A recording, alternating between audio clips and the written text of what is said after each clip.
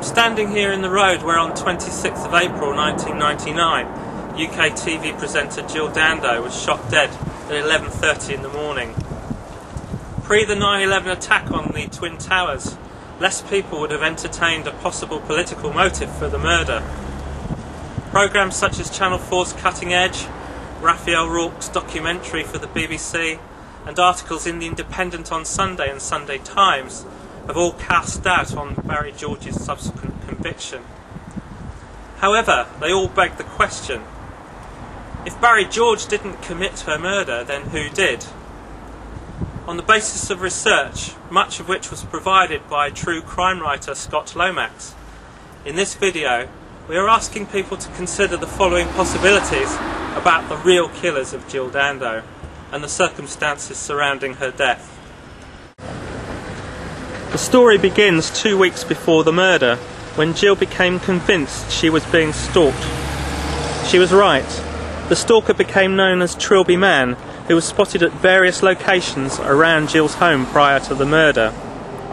He was also seen standing at the same place at widely different times for no obvious reason. Like all good hat wearers in the old movies, Trilby Man was an agent in this country with foreign connections, and his cover was to own a small garage business on the outskirts of London. How did Jill acquire such a stalker? The answer lies in an April TV appeal that Jill made on behalf of Kosovan refugees. It was an appeal that prompted Trilby Man to send Jill a letter criticising her actions. But why should anybody take offence at such a humanitarian gesture? At the time of Jill's death, we were at war with Serbia, a war that was little understood. It was covered extensively in the news, but as usual, this coverage focused very much on the effects rather than cause. To kill Jill Dando would not have had much support amongst Serbs in general. However, amongst other things, they were upset that while the Kosovan Albanian refugees were shown on TV fleeing south in desperate circumstances, no mention was made of Serbian refugees fleeing north as the Kosovan Albanians returned. The Serbs generally felt that they got bad press at the time, and they probably had a point.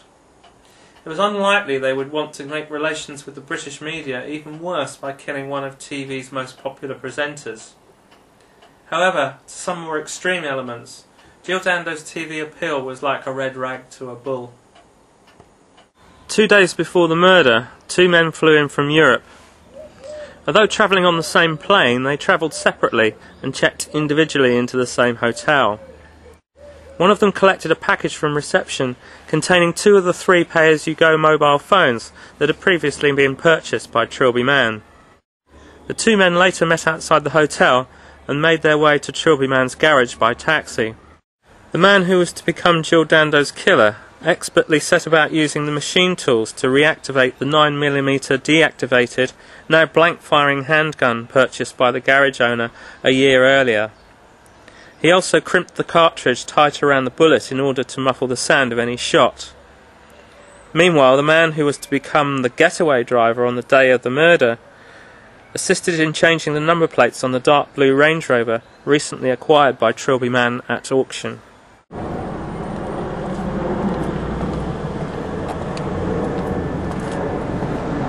On the eve of the murder, the killer came to survey the scene for himself. He was spotted here wearing his distinctive three-quarter length coat, staring down Gowan Avenue at around 8 o'clock in the evening.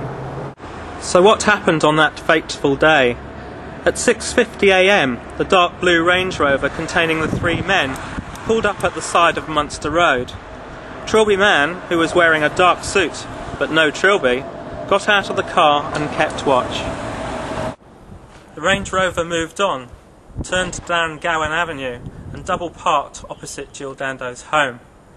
The man in the knee length coat got out of the car and knocked on her door. There was no answer. The men clearly did not know her very well. Due to her steady relationship with her boyfriend, Jill's visits to her own home were fairly random. The morning was a frustrating one for the three men. They were spotted behaving suspiciously near Jill's home at various intervals. One key witness was a traffic warden who started entering the details of the then illegally parked Range Rover on her handheld. However, the driver started tapping on the windscreen threateningly, waving her away. Successfully intimidated, she deleted the details and left. The driver was becoming anxious and phoned the others to say that he was going to drive and wait alongside Bishop's Park to avoid further attention. By 11am, the very agitated would be killers were almost ready to give up. But at that very moment, Jill Dando made the fateful decision to return home. On the way, she stopped outside Cope's Seafood Company about 500 yards from her street to buy some fish at about 11:20 a.m. Trilby Man, minus the Trilby, called ahead on his mobile to say that Jill, in her distinctive BMW, was on her way.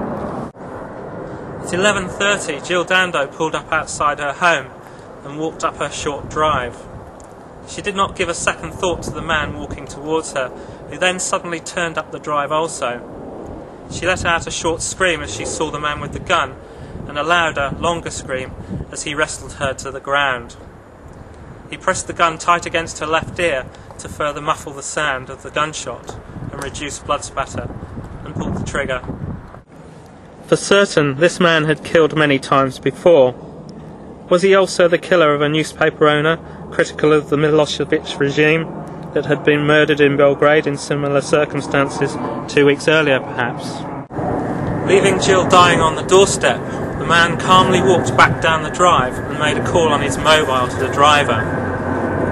Meanwhile, Trilby Man was fast becoming Sweating Man, running down Gowan Avenue on the opposite side of the road in order to catch up with the action. The killer pushed the gate shut with his hand in his pocket so as not to leave any fingerprints and turned left. After calmly walking for a short while, he broke into a run, but realizing he was being watched, calmly walked again. The two assassins took slightly different routes to the rendezvous point at Bishop's Park. Killer detoured left down Kimbell Gardens and then right down Edgarley Terrace instead of heading straight down Gowan Avenue.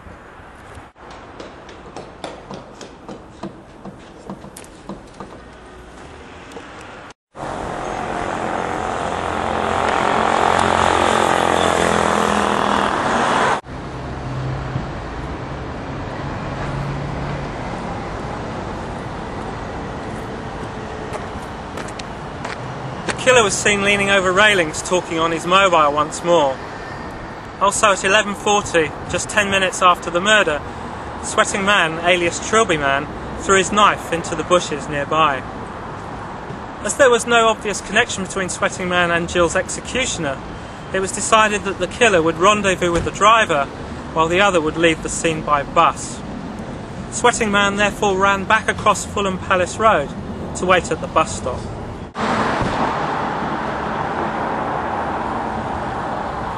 He waited here in a clearly agitated state before getting on to the next bus, a number 74.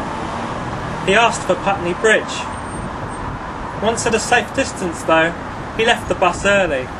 If he had got off at his stated destination, he would have been caught on CCTV cameras.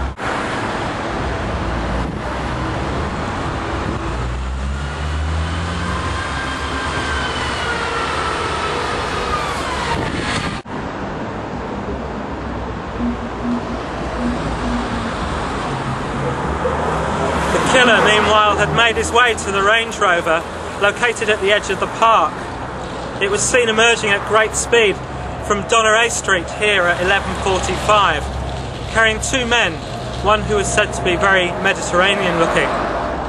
The car travelled very fast through a red light and off into the distance.